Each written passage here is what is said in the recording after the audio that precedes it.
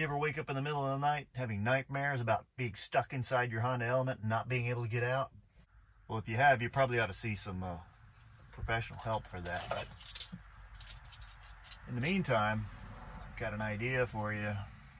Check this out. This book is worth the money you're going to have to pay for it, and it's not cheap. But it keeps me from having to guess at things like what's holding my panels on, you basically got to pull your little handhold out that goes in here and there's one of those uh, Honda push pin things that goes in here and the rest of this are those plastic clips that just hold pretty much all Hondas together. You just pop it loose. Now that this is off, we can kind of ponder how all this goes together.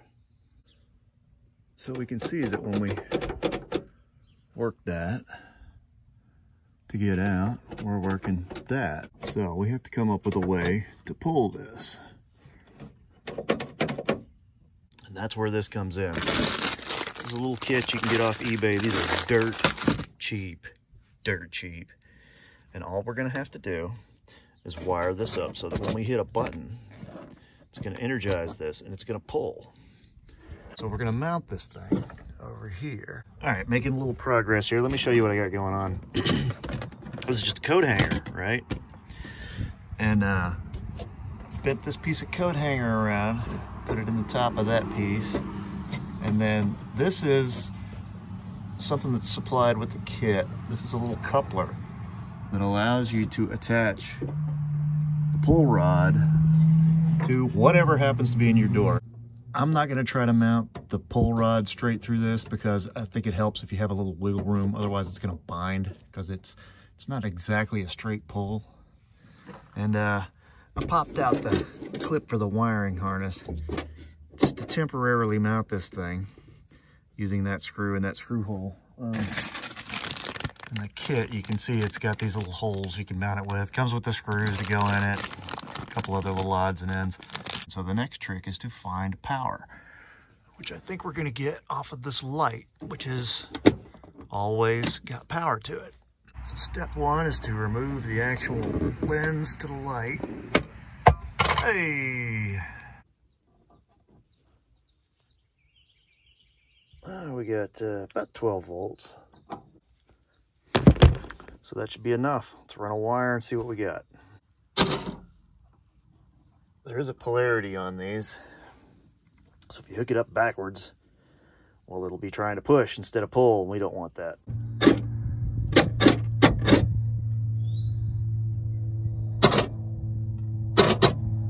I think the next thing to do is uh, pull this panel off, start snaking wire.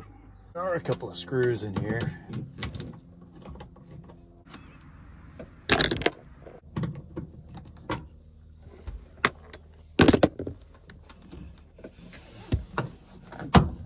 The rest of this just pulls out. Here's the wiring harness for the light. Got a little tab on the side you gotta push in. Pops right off. It's only got one on one side. I'm gonna show you how to snake wire. Got this piece loose, got this piece off. We don't have to take this entire piece off because we're just gonna snake wire through it. Now, this is the rest of that coat hanger I showed you from earlier. Took these needle nose pliers and bent a little hook into it. This is what we're gonna call a wire snake. Any of you guys that have done electrical work, you've seen this before. It's not going to be too tricky either. we only need to snake one wire uh, because the other wire is going to be a ground and we're going to ground it to the back of the wiper motor. Uh, works well enough for the wiper. It'll work well enough for what we're doing. And the wire that we're going to be pulling is this white wire. So we're going to tap into that. We're going to pull it through this frame and uh, through this piece right here. Now, this just pulls out, okay? See all those wires? That's everything that's going into the hatch. It's the wiper motor, the sensor to tell you the tailgate's open, the little light, I think, for the license plate maybe. All that runs through here. So we're gonna take the snake that we made and we're gonna snake one wire extra through there. Of course, you knew you were not going to get out of this one without grabbing your 10 millimeter. Let's pop this little, good grief. I'm always amazed at what comes out of my Honda Element.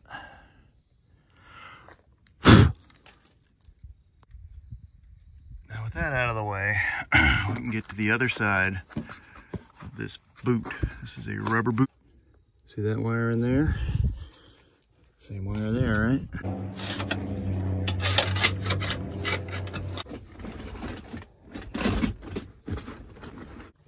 My favorite tool again. Hey, I see it. There's our snake. Now we're tying on, here's how I'm tying on the, uh, the wire to the snake. Put a little loop in it, hook it onto the loop of the snake, and we're gonna pull it back through back through that hole very easily. We don't want to snag any of our old wiring and rip that out or we'll create a bigger problem. So we're going to gently and persistently run this wire back through the door.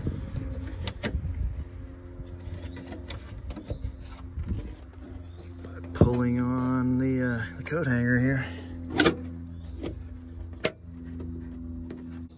At any point, if it snags, we have to go coax it on through There we go.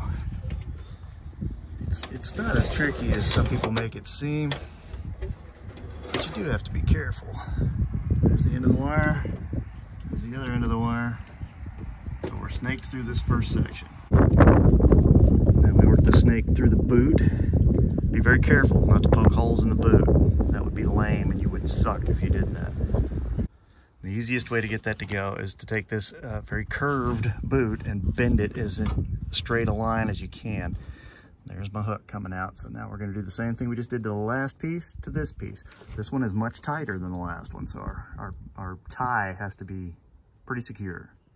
See if I can get a little bit better camera angle, show you how I'm doing this. See, I'll leave that little bit out, bend that around, and just twist it around. You know, like a sandwich tie. Do they use sandwich ties anymore? I don't think they use sandwich ties anymore. That's pretty secure. Now I'm gonna very carefully, very carefully work this back through there to not snag anything. If you're a real wire pull guy, actually make lube for this. I don't mean to get graphic with you. They do make it. We're just gonna have to persistently push this through, kind of work it, work it, work it. A little bit at a time. It snags.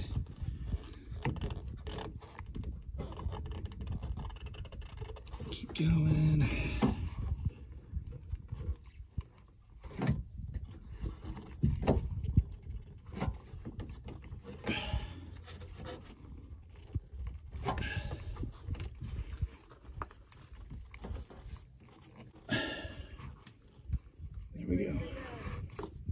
So now we got that snaked through. Pull the rest of our slack into there. I'm gonna go super tight with it, but I don't want it loose to where it's gonna kink up in here. Then that just kind of pops back in there. You just wiggle it and it'll, it'll seat itself kind of. Left. Boop, right out the hole.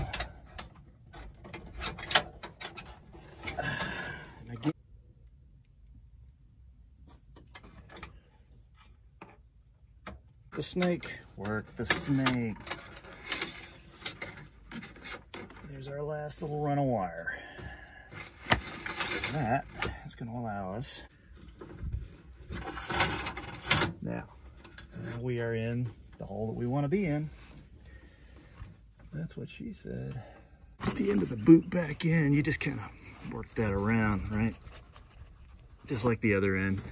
Just wiggle it around till it seats itself and it'll it'll pop in there. Doesn't seem like it will, but it will. Remember I said earlier, it's a the center plug on this is the one we're going after, the white wire. That's the one that has the power on it. Remember, we checked with our meter. So I'm pulling that back a little bit. stripping that back. I'm gonna cut this here and I'm gonna put a wire nut on it, attaching our wire to it. I can hear some of y'all having a fit right now. Wire nuts, holy moly. I know, it's crazy, isn't it? It's gonna work. Funny thing is, I really don't use this light in the back.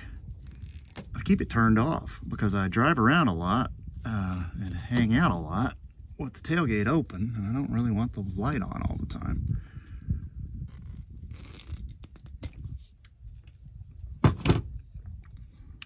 Wire strippers. Um, it's a talent that I developed over a bazillion years of never having wire strippers. I use diagonal cutters.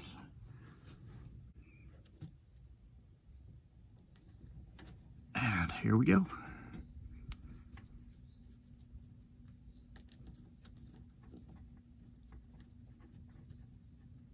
I will be coming back later and soldering all of this, by the way. I just, when I'm testing out an idea, I like to kind of go with what's quick and easy. And then if it works, I can come back later, fix it up the way I like it. Now let's snake all this crap back through the hole and get ready to put our light back together. Yay! Got our panel back on. All this weird stuff still works. That's wonky. Make sure this weather seal isn't trapped under the edge of that plastic like it is right there. Otherwise, it won't seal the weather. Got the screws that hold the light in. Hey. There's another screw.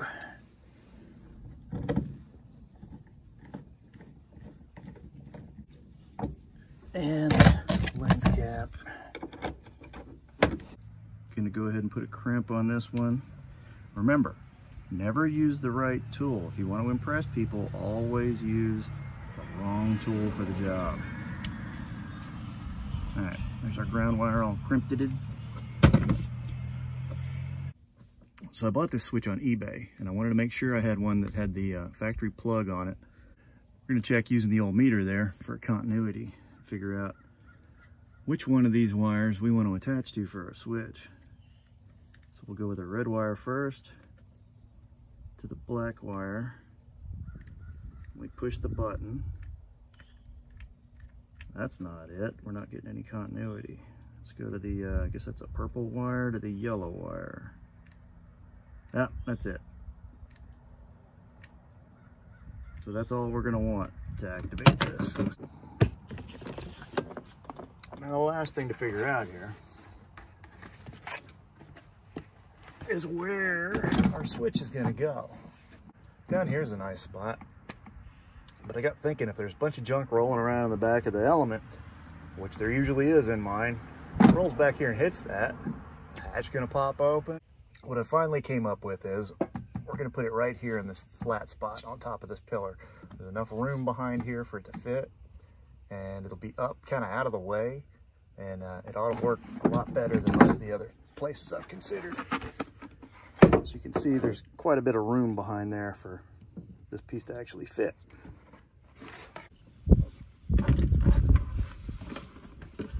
As with most of my best ideas, it all begins with a Sharpie.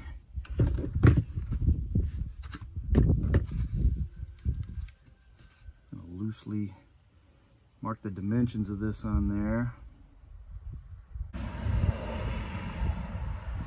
The drill.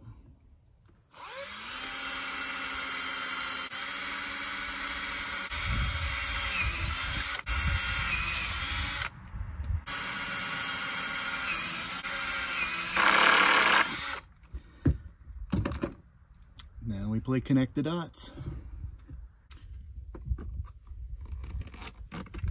This is how you play. I've got a hundred different tools that'll probably do this better.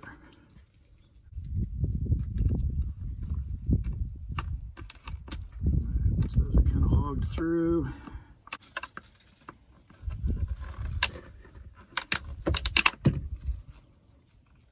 Again, if you really want to impress people, always use the wrong tool for the job. Come into the back and snap these little ribs out. There's little ribs back here. is making me hungry. Once those are gone, it gets a lot easier to do this job. Woo! Nowhere near ready. Once I've got the hole rough cut, clean everything up with this, I'll probably finish up with some kind of file. This is a really good way to cut the hell out of yourself. This is what I'm trying to say is be careful. That's what I'm saying. See there? Because if you were to kill yourself doing this mod, my lawyer has told me I am not liable. See, it's getting there. We just keep going. Somebody that knows what they're doing would have made a template of this. Safety first, at the very least second, third tops, at very least third.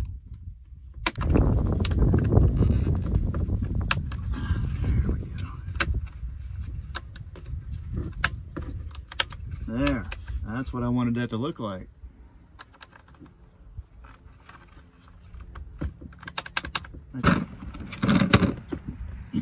if you work on Hondas a lot and you don't have one of these, go get you one. I'm a, I'm all for the cheap tools, but this particular tool, when it comes to unhooking all these hookups, man, it's the thing to have. It really is.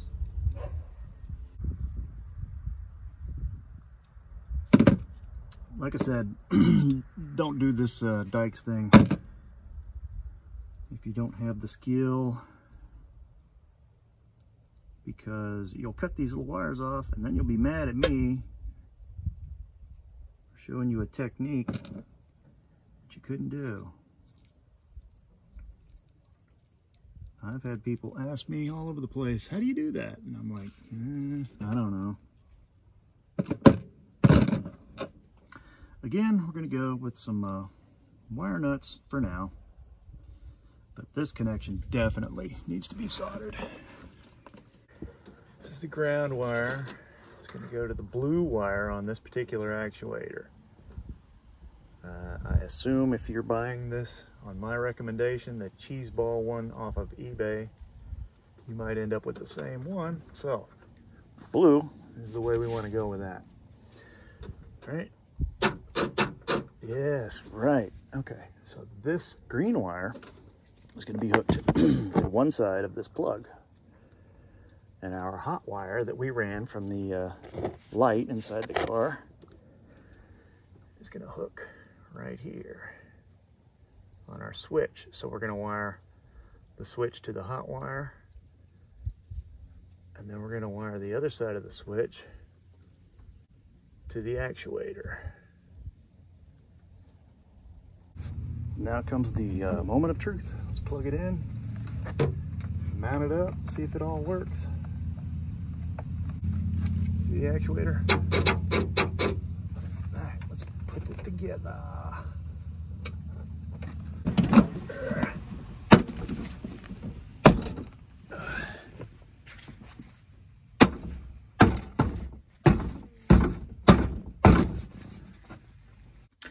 So here's our nightmare scenario.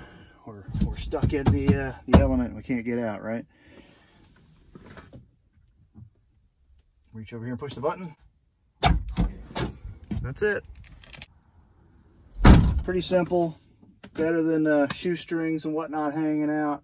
I do need to put out like a pole in here, I guess, so you can close it, right? That'll be another video. Like I said before, this thing is fairly adjustable. If you install it the way I showed you on my initial like test fit, I, I never moved it. Um, that was perfect. So you might want to just go with that. Or you might want to come up with a much fancier way to mount it. I don't know. But these things are like five, ten bucks on eBay. I got two of them for $12.